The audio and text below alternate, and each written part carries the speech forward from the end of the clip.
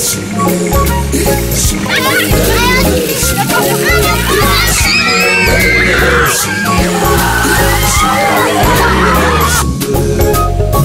hjerte er på størrelse med sådan en øh, uh, 10 liters gulvspand, hvis I kan forestille jer det. Sådan en kæmpe stort hjerte.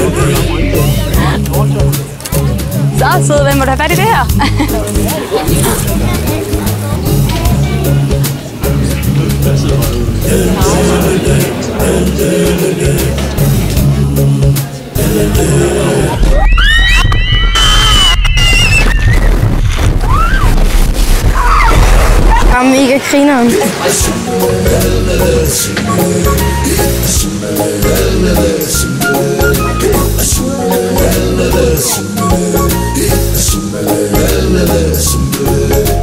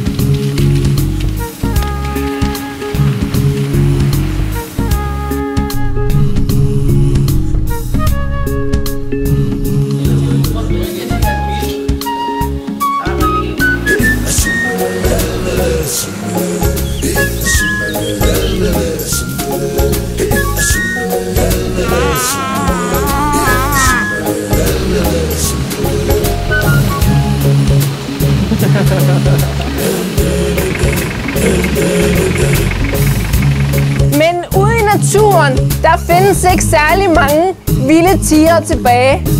For 100 år siden fandtes der